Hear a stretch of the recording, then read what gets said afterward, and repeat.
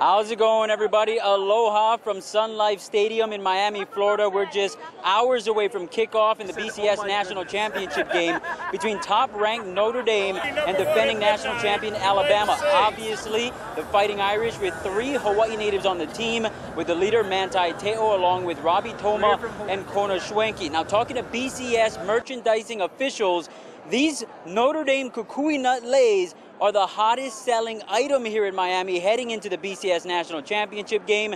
And walking around pregame, I found a group of individuals who are very excited to see Manti Te'o, Robby Toma, and Kona Schwenke play. They're Notre Dame fans, and I'm hearing that you have uh, grandparents that are in Hawaii? Yes, I do. Hi, Grandma. Hi, Papa.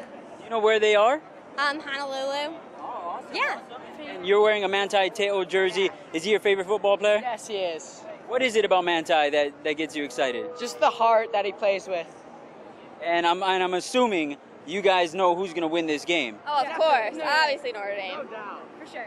All right, all right. Well, we'll see you out in Hawaii pretty soon, I'm assuming. All right, can I get a go Irish? Go Irish! All right,